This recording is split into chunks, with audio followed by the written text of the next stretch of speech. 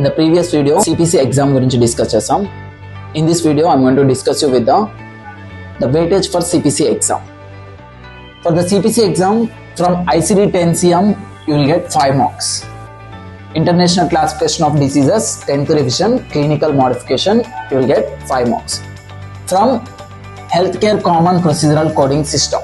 The material course will get 3 marks. Then followed by CPT, current procedural terminology, you will get total 64 marks from CPT, the procedures and surgeries book. Okay, this is a more weightage for CPC exam. Then anatomy, you will get 4 marks from anatomy. Then medical terminology, the medical terms like cardio, hepato, reno, all these are all the medical terms. The, from the medical terminology, you will get 4 marks. From compliance and regulatory billing questions, you will get 3 marks.